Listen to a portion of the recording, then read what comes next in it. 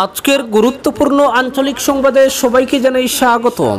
আজকের সন্ধ্যার সমগ্র বরাক তথা আসামের গুরুত্বপূর্ণ বিশেষ বিশেষ খবর হলো, সর্বভারতীয় ক্ষেত্রে পুনরায় উন্মোচিত হয়েছে আসামের শিক্ষাখণ্ডের দুর্ভাগ্যজনক অবস্থান। পরিকাঠামো থেকে শুরু করে শিক্ষণ সামগ্রী, বিদ্যালয় গৃহ, শিক্ষক, শিক্ষিকার হার ছাত্রছাত্রীর সুযোগ সুবিধা তথা গুণগত শিক্ষার ক্ষেত্রে দেশের সাঁত্রিশটি রাজ্য ও কেন্দ্রশাসিত অঞ্চলের মধ্যে একুশ নম্বর স্থান পেয়েছে আসাম। প্রতি বছর গুণোৎসবের সময় থেকে শুরু করে আইআইটির মতো প্রতিষ্ঠানে শিক্ষক প্রশিক্ষণ দেওয়া, ছাত্রছাত্রীর দুপুরের খাবার যোগান ধরা। বা আনুষঙ্গিক সব ক্ষেত্রে সরকার গুরুত্ব আরোপ করে যাচ্ছে, কিন্তু তারপরও কেন্দ্রীয় শিক্ষামন্ত্রীর প্রতিবেদনে একেবারে নিচের দিকেই থেকে গিয়েছে আসাম।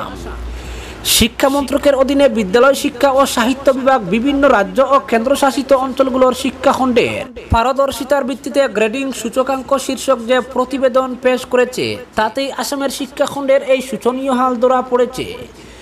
যে সময় অন্ধ্রপ্রদেশ, গুজরাট, কেরল, মহারাষ্ট্র, পাঞ্জাব ও রাজস্থানের মতো রাজ্য শিক্ষাক্ষেত্রে দেশের ভিতরে শীর্ষ পর্যায়ের গ্রেড লাভ করেছে। সেই সময় আসাম সারিতে রয়েছে ত্রিপুরা, লাদাখ, ঝাড়খণ্ড, জম্মু কাশ্মীরের মতো রাজ্যের সঙ্গে। অন্যদিকে শিক্ষাক্ষেত্রে বিজেপি শাসিত আসাম, পশ্চিমবঙ্গ, ওড়িশা, লাক্ষাদ্বীপ, দিল্লি, কর্ণাটক থেকেও পেছনে রয়েছে। পারফরমেন্স গ্রেডিং ইন্ডেক্স অর্থাৎ পিজিআই সমীক্ষায় কেন্দ্রীয় শিক্ষা মন্ত্রক দেশের শিক্ষাখণ্ডের মোট সত্তরটি চিহ্ন ও দুটো শ্রেণীতে শনাক্ত করা এই চিহ্নসমূহের বিপরীতে। সংশ্লিষ্ট রাজ্যগুলোর শিক্ষাখণ্ডের প্রদর্শন করা উন্নতি বা অধগতির দিকগুলো বিশ্লেষণ করে। এই সমীক্ষায় প্রতিটি রাজ্য মোট সত্তরটি পয়েন্টের বিপরীতে এক হাজার তথ্য জমা দিয়েছিল। এর ভিত্তিতে চারটি পর্যায়ে ধার্য করা হয়।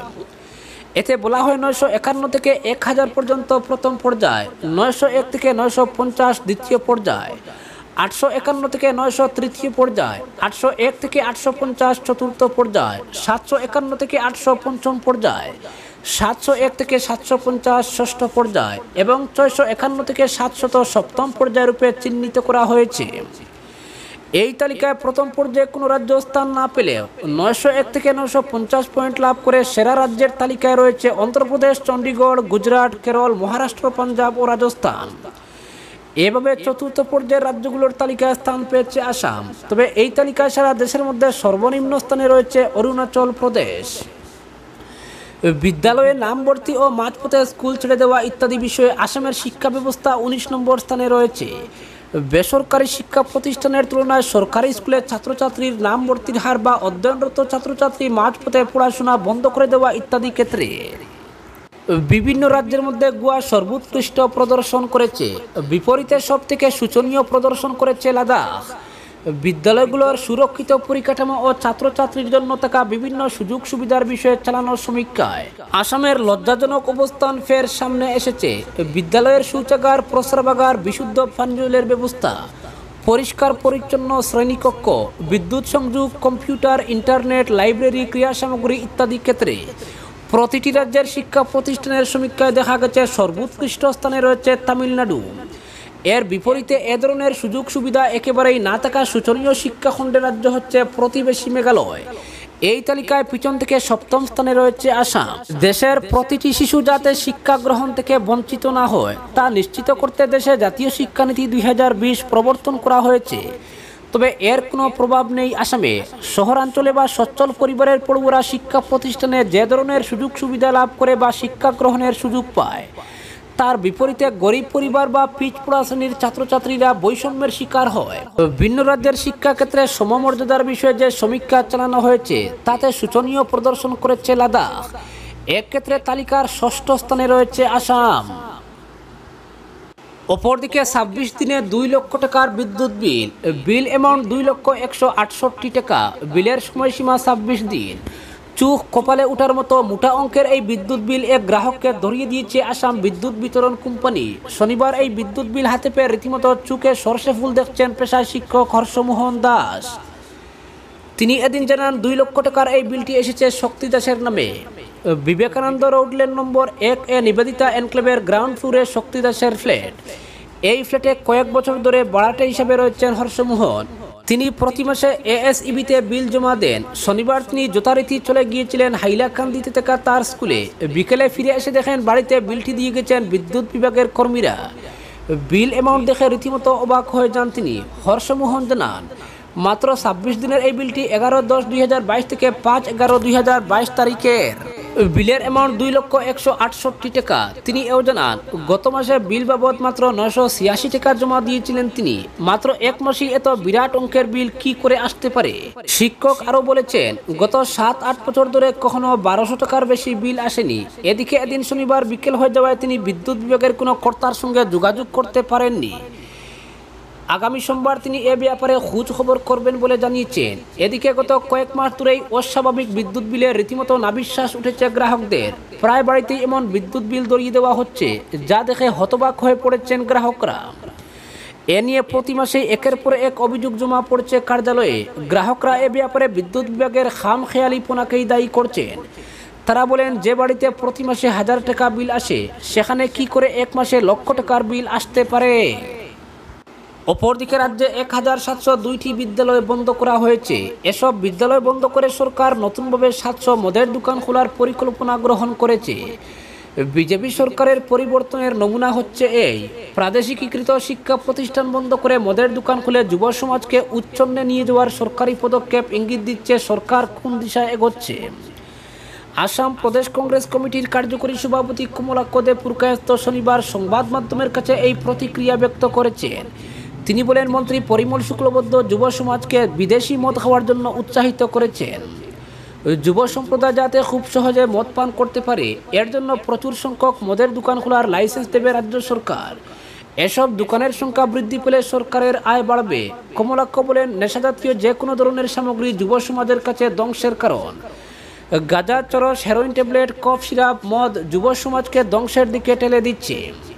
তিনি বলেন, রাজ্য সরকার একদিকে কোটি কোটি টাকার ড্রাগস ধরছে, আর অন্যদিকে বিদেশি মদের নতুন করে সাতশো দোকান খোলার পরিকল্পনা করছে। সরকারি রাজস্ব বৃদ্ধি করার জন্য মদের দোকান খোলার সিদ্ধান্ত কোনো সুস্থ সমাজের কাছে গ্রহণযোগ্য হতে পারে না। বর্তমানে সরকার যে ড্রাগস বিরোধী অভিযানে নেমেছে, এর পেছনে অন্য কোনো রহস্য জড়িত কিনা সে ব্যাপারে যথেষ্ট সংশয় রয়েছে। তিনি বলেন, সরকার আক্ষরিক করতে নেশামুক্ত সমাজ গড়তে চাইলে ড্রাগসের পাশাপাশি মদের দোকান বন্ধ করার সিদ্ধান্ত নিতে পিছপা হতো না।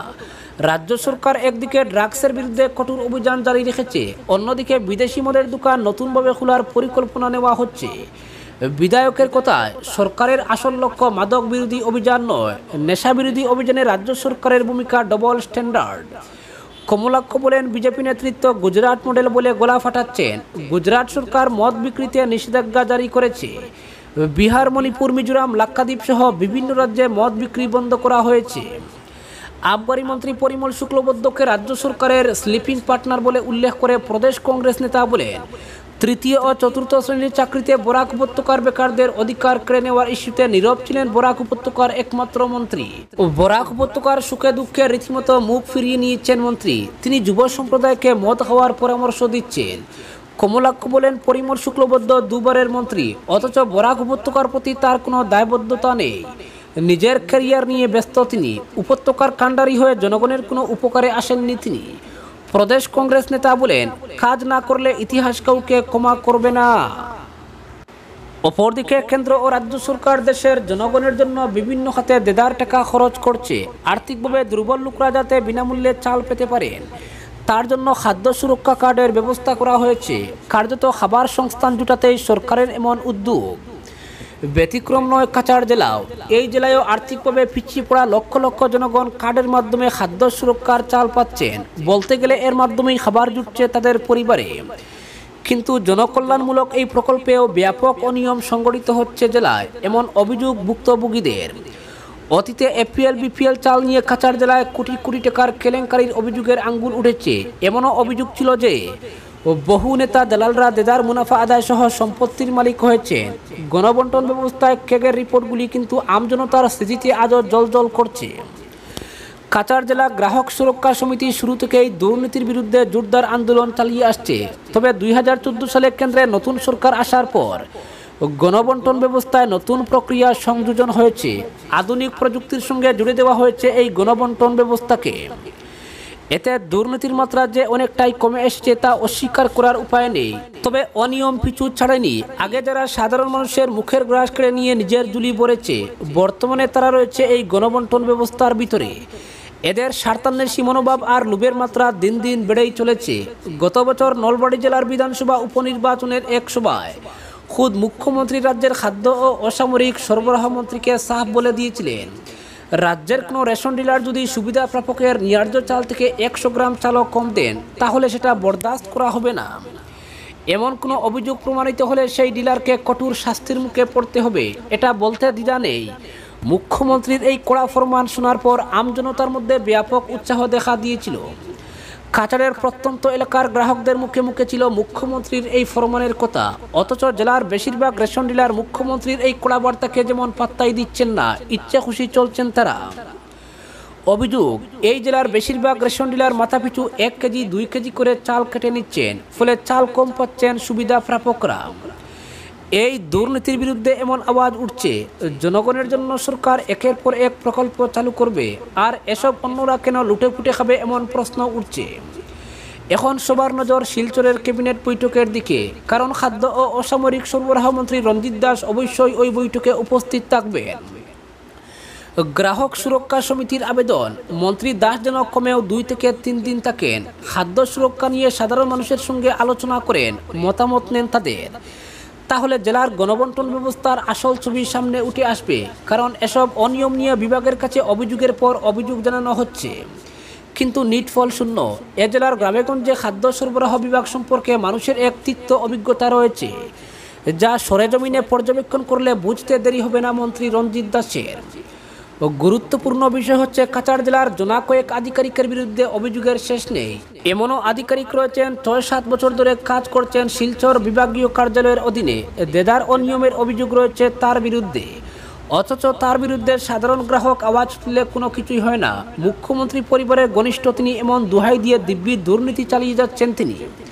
তার বদলি নির্দেশ জারি হলেও নিজের ক্ষমতা ও স্বঘোষিত সম্পর্কের দোহাই দিয়ে শিলচরের কর্মক্ষেত্রে বহাল থাকেন। পরপর তিনবার তার বদলি নির্দেশ কার্যকর হয়নি, এমন অভিযোগ কিন্তু কান পাতলেই শোনা যায়। আরও অভিযোগ এই আধিকারিক ডিলারদের বাধ্য করেন চাল কম দেওয়ার জন্য। তার সরাসরি প্রভাব পড়ে গ্রাহকের উপর। গ্রাহক সুরক্ষা সমিতি মনে করে গণবন্টন ব্যবস্থায় স্বচ্ছতা বজায় রাখতে। সরকারি প্রকল্পের সুবিধা সঠিকভাবে আমজনতার কাছে পৌঁছে দিতে এসব ঘটনার সত্যতা যাচাইয়ের জন্য নিরপেক্ষ তদন্ত জরুরি। অন্যথা এরকম হাতে গোনা স্বার্থান্বেষী আমলার জন্য জনদরদী সরকার ও মুখ্যমন্ত্রীর ভাবমূর্তি খাটো হতে পারে।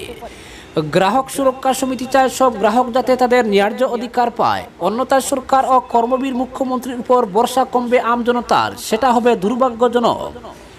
গ্রাহক সুরক্ষা সমিতি এই ইস্যুতে মুখ্যমন্ত্রী হিমন্ত বিশ্ব শর্মার হস্তক্ষেপ কামনা করছে।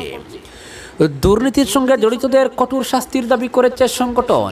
এখন সরকার ও সংশ্লিষ্ট বিভাগ এমন আমলা ডিলারদের বিরুদ্ধে কি ব্যবস্থা নেয় সেটাই দেখার। এক প্রেস বিবৃতিতে এই খবর জানিয়েছেন, গ্রাহক সুরক্ষা সমিতির সাধারণ সম্পাদক বিপ্লব কুমার গোস্বামী।